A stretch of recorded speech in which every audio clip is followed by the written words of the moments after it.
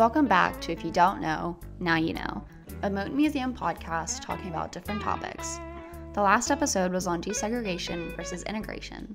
You can find that if you scroll down in the feed. My name is Irene Thornton, and I'm the intern for Education and Outreach here at Moton. Today, Martin Luther King Jr. Day, we're going to be talking about a woman who was extremely influential in the success of the civil rights movement. Septima Clark was born in 1898 to a formerly enslaved man and a working laundrywoman. She grew up in a heavily segregated Charleston, South Carolina.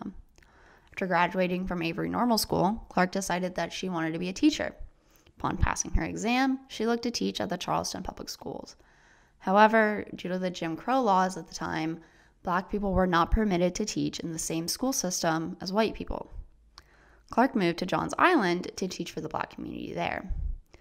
Johns Island is where she developed her profound teaching style that was responsible for a lot of the success in the civil rights movement, frankly. Like many schools for black children at the time, the one on Johns Island was extremely underfunded and dealt with less than ideal conditions. However, Clark continued to work to give the students the best that she could offer. Meanwhile, she was also advocating for the state to integrate the public school teachers, a petition which she was later successful with. Clark continued to teach youth students during the day. She eventually moved to Columbia, South Carolina to obtain her bachelor's degree from Benedict College. She later moved back to Charleston and became a member of the Charleston branch of the National Association for the Advancement of Colored Peoples, the NAACP. Together, the NAACP and Clark filed a lawsuit that demanded pay equality for black and white teachers in South Carolina. The city council and state legislature took strong notice of her role in the lawsuit, and needless to say, they were not very pleased about what was going on. So, in response, South Carolina passed an ordinance denying city and state employees the opportunity to be members of civil rights organizations such as the NAACP. Clark easily, and you know, they gave her the option, Clark easily could have hid or given up her membership with the NAACP, but she refused, and so she lost her job as a teacher in the mid 1950s. However, she had already been teaching part time at the Highlander Folk School. This education center in southeastern Tennessee was visited by many civil rights advocates, including Rosa Parks, Dr. Martin Luther King Jr., and Eleanor Roosevelt. Clark used the education method that she developed on Johns Island to teach adult literacy and citizenship. She believed that when you give someone the ability and skills to read and write, then you can better teach them the way to advocate for themselves, thus giving them the power to fight back against segregation and other injustices. Now, able to read and write, the black adults that attended the Highlander Folk School could pass the literacy test required to vote.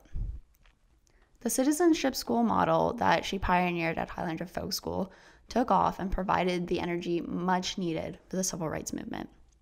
Dr. King gave Clark the name of Queen Mother of the Civil Rights Movement.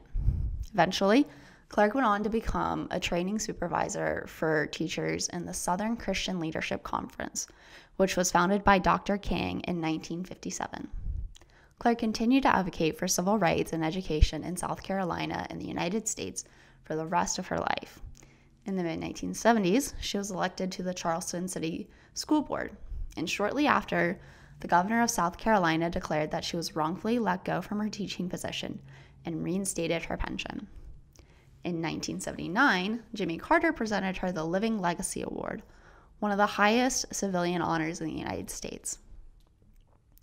Septima Clark's granddaughter, Yvonne Clark, said of her, quote, I think her most important accomplishment is not so much what she did while alive, but what she instilled in the many people she came in contact with during her lifetime. End quote. Additionally, Congressman Jim Clyburn of South Carolina said, quote, she probably had the biggest heart of anybody I ever met, end quote. So there you go. If you don't know, now you know. Septima Clark, Queen Mother of the Civil Rights Movement. For more resources, you can check out the National Park Service, the King Institute at Stanford University, or the College of Charleston Library. That wraps up this episode. If you don't know, now you know. If you have any topics that you'd like us to cover, you can reach us at info at motonmuseum.org or DM us on social media. See y'all soon. Bye bye.